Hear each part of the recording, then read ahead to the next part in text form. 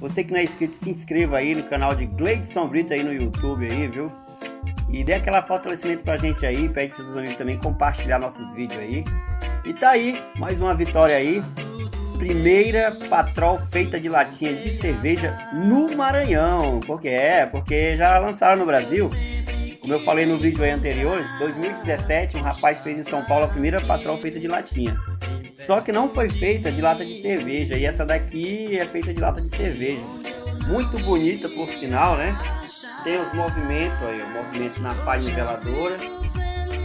Tem dela com o movimento na pá niveladora aí, que você vê aí, ó. Tanto para esquerda como para direita. E tem a hidráulica. Hidráulicazinha feita também, bem interessante essa hidráulica. Ela sobe na hora de fazer o raspamento. E também volta normal. Para você aí que é tratorista e gosta de máquina pesada, tá aí.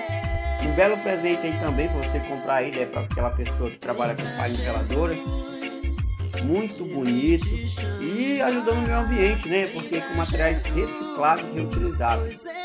Ó, gira os pneus, os pneus dela também giram. É, e é isso que eu queria mostrar para vocês. Ó, bem bolada, suspensão dela bem alta mesmo, bem interessante. Movimento.